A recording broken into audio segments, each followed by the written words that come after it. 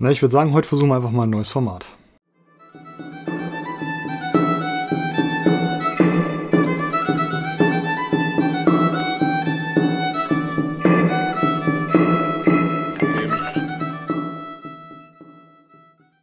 Hey Dominik, der Berbinger Ritter hier. Heute möchte ich mal ein neues Format mit euch ausprobieren. Und zwar möchte ich einfach mal vor der Kamera sitzen und einfach über irgendein Thema quatschen, was mich gerade so interessiert. Bezug natürlich immer Living History, Reenactment, Schwerpunkt Mittelalter, 13. Jahrhundert, weil das ist halt, was ich hauptsächlich mache. Ähm, aber die Themen können ganz weit gestreut sein. Manchmal ist es auch einfach nur meine Meinung, manchmal mein Gedankenbrei dazu. Und ich möchte einfach mal raus zu euch streuen und ähm, vielleicht ist für den einen oder anderen eine Anregung, vielleicht auch nicht. Der eine wird meine Meinung teilen, der andere nicht.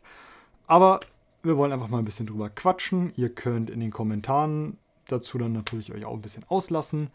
Und wenn das Thema dann diskussionswürdig ist oder eine Diskussion zustande kommt, dann können wir das vielleicht nochmal in einem neuen Video aufgreifen und so weiter.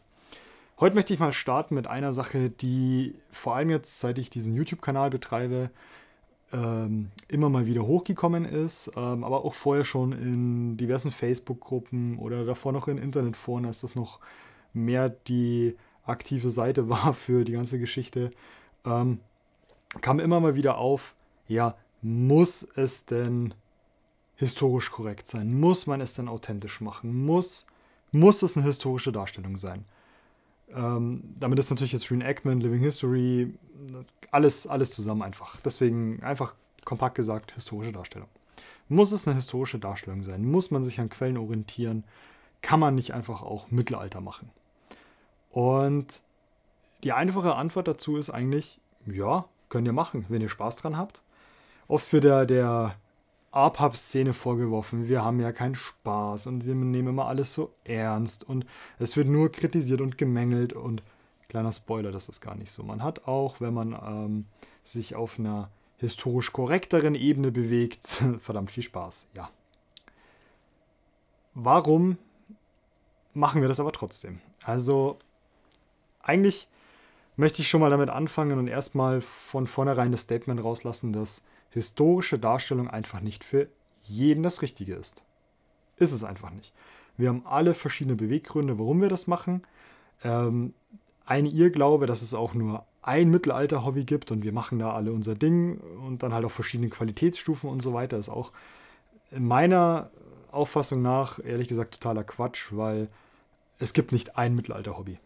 Es gibt Leute, die machen Reenactment, Schrägstrich Living History, es gibt Leute, die ja, nähern sich daran an, machen aber nicht wirkliche äh, Quellenrecherche und versuchen nicht historisch genau an die Sache möglichst ranzugehen, sondern so grober Look passt.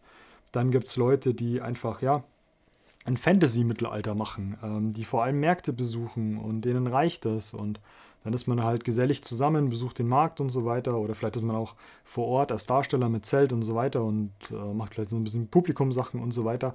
Da gibt es wirklich ganz verschiedene Ansätze. Und ähm, ich möchte den Rahmen jetzt nicht sprengen. Ich will immer versuchen, dass diese Videos so vielleicht maximal 15 Minuten, vielleicht auch mal 20 Minuten lang sind. Ähm, auf jeden Fall, die Leute gibt es. Und auch in einer von diesen Szenen, Szenen äh, gibt es ziemlich viele, ja, unterschiedliche Leute, die unterschiedliche Sachen machen und eigentlich auch unterschiedliche Hobbys haben. Von außen betrachtet wird es natürlich gern zusammengeschmissen, ja, ihr macht alle Mittelalter. Ja. Machen wir aber nicht. Jeder macht da irgendwas anderes. Und wenn wir jetzt damit anfangen, muss es immer historisch korrekt sein, muss es immer eine historische Darstellung sein, muss, kann ich nicht einfach so Spaß haben. Na klar kannst du. Aber im Endeffekt, das liegt an dir. Das liegt daran, was möchtest du machen, was ist dein Hobby? Was fasziniert dich an der Geschichte? Warum machst du das? Am Ende vom Tag, von außen betrachtet, verkleiden wir uns am Wochenende immer in komischen Klamotten und spielen Mittelalter. Das ist erstmal von außen betrachtet. Und da wird es nämlich auch schon gefährlich. Ich vertrete ja hier auf diesem Kanal die ähm, historische Darstellerseite. Ihr wisst, das ist, was ich mache, was mir Spaß macht. Und der Fakt auch Wissen an die Leute zu bringen, richtiges Wissen über das Mittelalter an die Leute zu bringen. Das ist zum Beispiel jetzt einer dieser Punkte, die mir in dem Hobby verdammt viel Spaß machen. Ich mache gern Displayarbeit, ich mache gern Vorführungen, ich zeige gern Zuschauern verschiedene Sachen, ich erkläre was dazu und so weiter. Das macht mir Spaß. Ja? Ähm, und ihr wisst ja, so meine Steckenpferde sind Ringpanzer und Kleidung. Das sind so die zwei Sachen, in denen ich relativ gut bin fürs 13. Jahrhundert. Wohlgemerkt, ähm, 13. Jahrhundert. Ähm, wenn wir jetzt über 14. bis 15. reden, wird es bei mir schon wieder ganz viel gefährliches Halbwissen. Ähm, aber in diesem kleinen Bereich macht mir das unwahrscheinlich viel Spaß und unwahrscheinlich viel Spaß mit Publikumsarbeit. So. Dann kommen natürlich noch die Faktoren dazu, dass es mir Spaß macht, Kleidung zu rekonstruieren. Mir macht es Spaß, Ringpanzer zu rekonstruieren. Ähm, mir macht es Spaß, ja, in gewisser Weise Mode und, und Schmuck und das ganze Zeug dazu auch noch zusammenzupassen und halt ein stimmiges Bild abzugeben für eine bestimmte Zeit, für einen gewissen Stand und so weiter. So, das ist jetzt meine Auffassung des Hobbys. Nebenbei interessieren mich halt noch die ganzen anderen Sachgegenstände aus der Zeit. Ich habe ein unwahrscheinliches Keramik-Fable. Ich habe viel mehr Keramik, als ich jemals benutzen werde, einfach nur, weil ich sie cool finde. Manchmal passt sie auch nicht jahrhundertmäßig genau, aber ich finde sie halt cool und ähm, benutze sie dann halt nicht für die Darstellung, sondern vielleicht habe ich sie auch nur rumstehen oder was auch immer. So. Ähm, das kann man jetzt noch viel weiter spinnen. So. Also, das ist auf jeden Fall, was mir Spaß macht. Mir macht Spaß, auf einem, in einem gewissen Rahmen, richtige Weise, Sachen zu rekonstruieren, die zu tragen, das zu zeigen und das an Leute weiterzugeben und denen zu zeigen, dass nach gewisser Quellenarbeit, nach gewissen Belegen, nach Funden, das Mittelalter zu einem gewissen Prozentsatz so ausgesehen hat. Hundertprozentig sicher können wir uns ja nie sein. Die große A-Keule, ihr wisst es ja. Aber das macht mir Spaß. So, habe ich jetzt schon dreimal gesagt oder so, aber das macht mir Spaß. Alles außenrum macht mir natürlich auch Spaß. Ich bin unwahrscheinlich gerne mit meinen Jungs unterwegs, die Geselligkeit. Ich habe unwahrscheinlich viele Bekannte und Freunde, äh, die das Hobby mit mir teilen. Mit denen trifft man sich gerne, mit denen quatscht man, tauscht sich aus und so weiter. Ähm, und wir quatschen auch natürlich nicht nur die ganze Zeit über Mittelalter-Gedöns, über Quellen und Belege und Funde und whatever, sondern wir quatschen auch einfach mal so. So, wir sitzen abends zusammen, trinken mal ein Bierchen, unterhalten uns einfach. So. Das macht mir auch unwahrscheinlich viel Spaß. Ist aber nicht die Kern, der, der, das Kernhobby von mir. Ne? Das ist schönes Beiwerk, das kommt dazu, das macht super Spaß. Ähm, aber ich mache Mittelalter, weil ich eben möglichst genau eine gewisse Zeit und, und so war alles davor, was ich schon gesagt habe, ähm, darstellen möchte. Das macht mir Spaß. So. Und wie ich angefangen habe, waren wir auch äh, ganz viel auf normalen Mittelaltermärkten unterwegs. Also dieses ganz normale in irgendeiner Stadt Marketing, man fährt dahin, man spielt cooles Mittelalter, zeigt den Leuten was und so weiter. Im Endeffekt, was wir jetzt auch machen, nur von der historischen Seite her gesehen auf einem viel kleineren Level wir haben alle mal irgendwie angefangen. Das war am Anfang bei uns auch ganz wilde Sachen, die wir dafür richtig gehalten haben und so weiter. Aber jeder startet mal irgendwie. Ne? Der eine auf einem höheren Level, der andere auf einem niedrigen Level, wenn man jetzt auf einem historischen Ranking geht. Ähm, ja. Und dann gibt es halt die Leute, denen einfach dieses Marktding Spaß macht. Ja, also so dieser Fantasy-mäßige Mittelalter-Look. Also teilweise ist es ja auch nicht nur so Game of Thrones oder Vikings Fantasy-Zeug, sondern teilweise ist es ja auch, ähm, dass es schon halbwegs richtig aussieht, aber dann in den Details scheitert es halt an historischen Korrektheit, am Material, am Schnitt, einer Kombination aus verschiedenen Sachen und so weiter. Ist jetzt egal. So. Ähm, das kann unwahrscheinlich viel Spaß machen. Ähm, vielleicht mögt ihr die Geselligkeit, vielleicht mögt ihr die Leute da, vielleicht macht ihr irgendein Handwerk, was zumindest einen irgendwie rustikalen Charakter hat und was man halt dann schön machen kann und zeigen kann und sich mit Leuten unterhalten kann und so weiter. Das ist ja alles schön und gut. Aber, und der Sache muss man sich halt auch immer bewusst sein, für die Leute, die so einen Markt besuchen, egal wie der jetzt ausgeschildert ist, ob der Markt jetzt als Mittelaltermarkt ausgeschrieben ist oder als fantastisches Spektakel oder wie auch immer. Ähm, mittlerweile fangen ja viele Veranstalter an, sich auch bewusst äh, davon abzugrenzen, es als normalen Mittelaltermarkt zu nennen oder als setze beliebiges Datum äh, fest zu irgendeinem Jubiläum äh, mit Mittelaltercharakter halt und dann ist es halt aber eigentlich das normale Marktzeug. So, oft werden ja jetzt auch Fantasy-Namen benutzt und so weiter. Ähm, ist ja alles schön und gut. Auf jeden Fall Besucher, die von dieser Thematik nicht wirklich Ahnung haben, kommen halt hin Und sobald ihr in Klamotten unterwegs seid, egal ob ihr da jetzt Darsteller seid mit eurem Zelt, fest auf der Veranstaltung für drei, vier Tage, oder ob ihr nur als Besucher da seid, einen Tag, läuft, lauft in Klamotten halt über den Markt, die Außenwirkung auf die Leute ist, ihr wisst, was ihr da macht. Ihr seid Professionals. Ja? Also oft wird ja auch geglaubt, dass wir engagiert sind, dass äh, das quasi unser Beruf ist, dass wir nichts anderes machen, außer so Marktdarstellungszeug und so weiter. Ähm, manchmal ist er ja auch gebucht, das kommt auf die Veranstaltung drauf an, aber ähm, die Auswirkung ist immer, ihr seid Profis. Ihr seid Profis, ihr wisst, was ihr da macht, ihr habt Ahnung von Mittelalter und alles, was ihr da sagt, wird zum großen Teil auch nicht hinterfragt und wenn ihr was erzählt, wird das aufgenommen wie im Mittelalter war das so.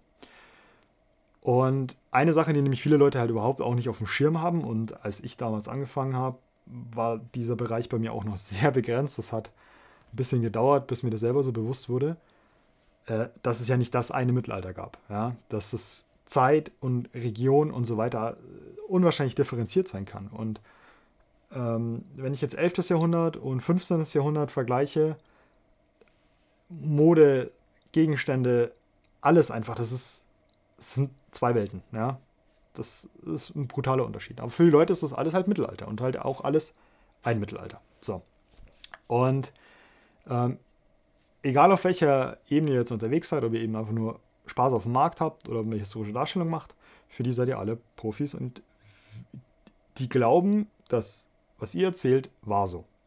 Punkt das typische Mittelalter-Bullshit-Bingo kennt ihr ja auch. Ist das Feuer echt? Schlaft ihr hier wirklich? Bla bla bla bla. Und das zeigt ja auch alles, wie die Wirkung auf die Leute ist. Wenn sie euch halt so sehen. So. Und ihr könnt in eurem nicht historischen Zeug natürlich Spaß haben. Ihr könnt auf Märkte gehen. Das kann unwahrscheinlich viel Spaß machen. Aber ihr müsst halt immer, wenn Fragen kommen, dann an der Stelle klar kommunizieren, dass das jetzt kein historisch gezeigtes Mittelalter ist, was ihr hier macht. Und dann ist die ganze Sache okay. Dann könnt ihr Spaß haben. Und auch wenn ihr keine historisch richtige Klamotte habt, könnt ihr euch ja in dem Bereich auskennen. Also ich kenne einige Leute, die zum Beispiel jetzt auf Kleidung nicht so viel Wert legen, weil ihren Schwerpunkt, weil ihr Hobby ein anderes ist. Vielleicht interessieren sich die unwahrscheinlich für äh, Kochen im Mittelalter über mehrere Jahrhunderte. Vielleicht interessieren die sich für Spiele im Mittelalter, vielleicht für ja, Rüstungen und Waffen. Oder, oder, oder, oder. Oder Handwerk, Gürtel, Leder, Schmuck, ähm, Keramik, whatever. Eine Sache, ein Thema, da sind die mega gut drin, spezialisiert drauf. Das macht denen richtig Bock, das ist ihr Hobby, deswegen machen die das. Und das andere ist vielleicht Beiwerk, sich dann in Klamotten werfen und das dann halt in Klamotten da machen, ist halt vielleicht das Beiwerk für die. Und der Schwerpunkt ist dann halt eben nicht die möglichst gute Kleidung oder die möglichst richtige Kleidung. So. Und vielleicht seid ihr auch an dem Punkt, dass ihr sagt, so ja, Kleidung, Mittelalter, ein bestimmtes Jahrhundert interessiert mich überhaupt nicht so. Aber ich kenne mich aus mit Sätze XY. So, und das macht mir Spaß, das zu zeigen. Und vielleicht interessiert mich aber die Geschichte ja davon. Vielleicht bin ich interessiert, wie das Schmieden früher war. Und ich habe unwahrscheinlich viel Ahnung vom Schmieden und wie sich das über die Jahrhunderte verändert hat und, und so weiter. Aber der Rest ist mir halt nicht so wichtig. Dann ist aber das Wichtige, dass ihr das kommuniziert. Dass, wenn man über irgendwas redet, wenn euch Fragen gestellt werden zu manchen Sachen, dass ihr halt einfach kein Bullshit erzählt, sondern einfach klar sagt so, hey, pass auf, ich kann dir über Schmieden jetzt alles erzählen, was du wahrscheinlich wissen möchtest und noch viel mehr. Aber Klamotten im Mittelalter, boah, keine Ahnung welche Schlacht da und da war. Boah, keine Ahnung. Wer in dem Jahrhundert das und das in Frankreich gemacht hat. Boah, keine Ahnung. Äh, wie jetzt Schuhe konstruiert waren. Keine Ahnung, weiß ich nicht. Klar kommunizieren, was ihr wisst, was davon richtig ist und was nicht. Das ist schon mal ein Punkt und damit sind auch schon viele Wogen wahrscheinlich geglättet. Und dieses normale Mittelalterzeug, auch ohne, wenn euch historisch so wirklich gar nichts interessiert, ja, macht es doch, habt doch Spaß. Aber er verkauft nichts für Mittelalter, was es halt nicht war. Weil es gibt sowieso schon viel zu viel falsches Wissen da draußen über das ganze Thema. Und ihr glaubt gar nicht, auf was für Ideen manche Leute kommen, weil sie das mal irgendwo gesehen haben und das dann so weiter erzählen und dann bekommen die Kinder irgendeinen Blödsinn erzählt, wie es Mittelalter früher war und ja, echt. Ähm, tatsächlich leidiges Thema, wenn man sich für das historische Mittelalter interessiert, da immer wieder gegen anzureden und anzukämpfen. Und wenn so ein Blödsinn halt auch weiter getragen wird, äh, auch von Leuten, die es halt oft gar nicht böse meinen, ähm, ist halt echt so ein Thema, warum immer wieder so diese Fronten aufeinander knallen, vor allem auch im Internet. So. Mittlerweile in den meisten, zum Beispiel Facebook-Gruppen, wird auch immer gesagt, wenn ihr was postet, schreibt euren Anspruch dazu. Ich habe irgendwas gebastelt, ihr zeigt es, dann schreibt euren Anspruch dazu. Was soll das sein? Soll das was Historisches sein oder nicht? Wenn nicht, have fun. Ähm, da wird euch keiner dafür runterbuttern, was ihr da gemacht habt. Ähm, da wird dann drüber geredet und was ihr gemacht habt, ist cool. Vielleicht wird ein bisschen drüber gequatscht, wie ihr was gemacht habt, über handwerkliche Sachen. Vielleicht kriegt ihr noch Tipps, wie ihr ein paar Sachen verbessern könnt oder whatever. Aber dieses typische, äh, das ist ja kein historisches Mittelalter, das wird jetzt weggebasht, findet nicht statt, wenn ihr es nicht provoziert. Wenn ihr jetzt natürlich irgendein Fantasy-Zeug postet und sagt, das ist für einen Ritter 13. Jahrhundert, ja, dann müsst ihr aber auch damit rechnen, dass ihr dann halt Gegenwind bekommt und einige Leute sagen, nein, das ist es nicht. Weil, Quelle, hier, da, wo sind deine Belege, woher hast du das und so weiter. Davor, wo viele immer Angst haben, was immer so verrufen wird, das wird nicht gemacht, wenn man klar kommuniziert, was es ist.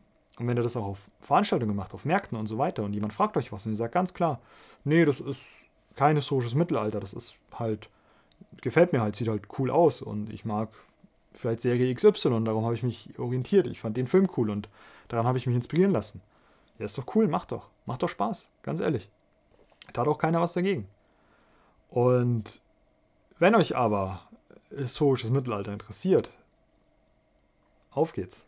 Ja, dann fangt an mit Living History, fangt an mit Reenactment, lest euch in die Quellen an und gebt Gas und findet euren Part im Hobby und das macht unwahrscheinlich viel Spaß. Ja ja, das ist eigentlich so, was ich loswerden wollte, dass dieses ewige, muss es historisch sein oder nicht, ein ganz klares Nein ist einfach. Ihr könnt machen, was euch Spaß macht, aber ihr dürft halt nichts verkaufen als das, was es nicht ist. Und wenn ihr halt, ich nenne es jetzt einfach Fantasy-Zeug, weil es ist ja nichts Historisches, also es ist was aus der Fantasie heraus.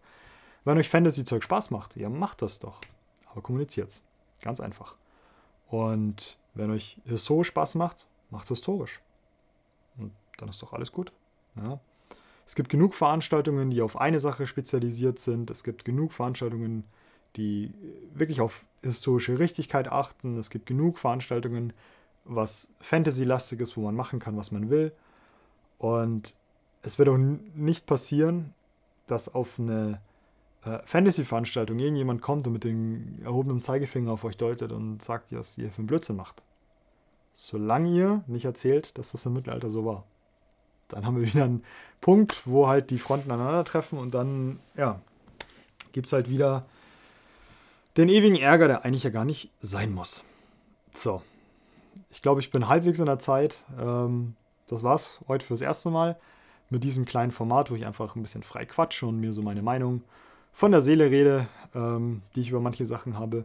Wenn es euch gefallen hat, schreibt es noch in die Kommentare, dann machen wir das Format vielleicht ein bisschen öfters. Ich habe noch einige Themen, über die ich eigentlich ganz gern reden würde. Und jetzt über dieses Thema hätte ich, glaube ich, auch noch eine Stunde länger reden können und ausführlicher, aber ich glaube, ihr wisst, worum es geht. Ihr findet unten in der YouTube-Beschreibung wieder ein paar Links. Ähm, das sind Amazon Affiliate Links, wenn ihr ähm, über die was kauft. Ich werde ein paar Bücher verlinken. Dann unterstützt ihr den Kanal dann unterstützt ihr den Kanal damit und kaum einmal versuche ich was frei zu sprechen, verplapper ich mich am Ende. Merkt ihr was? Naja, egal. Also, äh, es sind Affiliate-Links, damit unterstützt ihr den Kanal. Wenn ihr den Kanal noch nicht abonniert habt, macht das doch sehr gerne, um kein neues Video mehr zu verpassen. Und ich habe in Vorbereitung einen Spreadshirt-Shop mit ein paar Living History Reenactment-lastigen Shirts und natürlich ein bisschen Burbinger Ritter Merchandise. Also, falls ihr dem Perbinger Squad beitreten wollt, schaut doch in dem Spreadshirt-Shop vorbei, damit unterstützt ihr auch den Kanal. Und dann würde ich sagen, sehen wir uns beim nächsten Mal. Bis dann, ciao.